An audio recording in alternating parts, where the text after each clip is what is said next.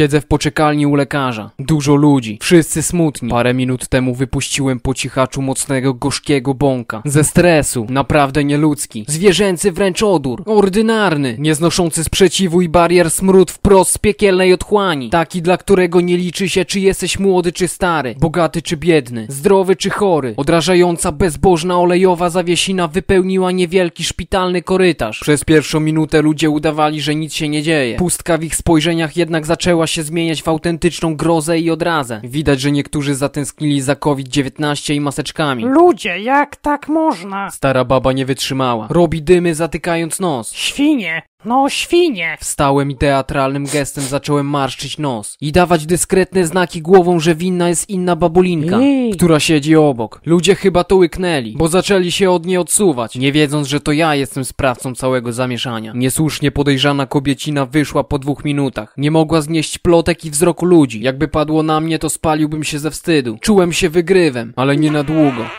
I? Bo chwilę później przez przypadek puściłem głośnego smoka. Próbowałem zrobić to co ostatnio, ale nikt nie chciał uwierzyć. On to zrobił. Co za świnia. Bezczelny Nie będę tu siedział. Żałosny typie. Ja stąd spadam.